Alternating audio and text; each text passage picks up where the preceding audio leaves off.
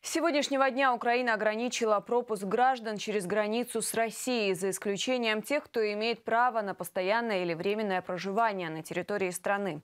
Об этом украинская сторона проинформировала пограничное управление ФСБ России по Белгородской и Воронежской областям. Связывают это с мерами профилактики распространения коронавирусной инфекции. Мы получили официальный комментарий российского представителя погрануправления по Белгородской и Воронежской областям.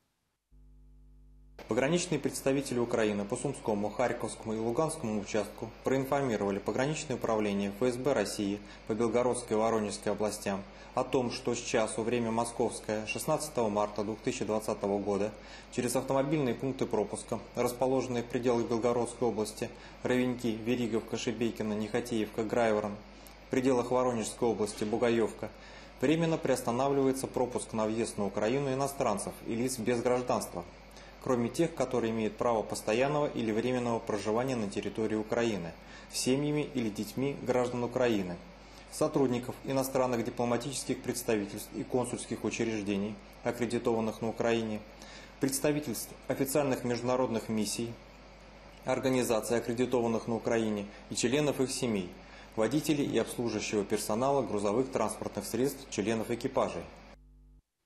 Помимо этого, временно приостанавливают работу автомобильные пункты пропуска в Краснояружском районе, Колотиловка и в Валуйском округе Логачевка. Остальные автомобильные пункты пропуска продолжат функционирование с временной приостановкой пешеходного и автобусного сообщения. С российской стороны ограничительных мер для пересекающих границу пока не предпринималось.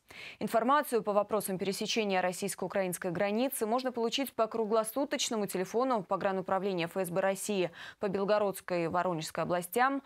В Белгороде 50 85 15.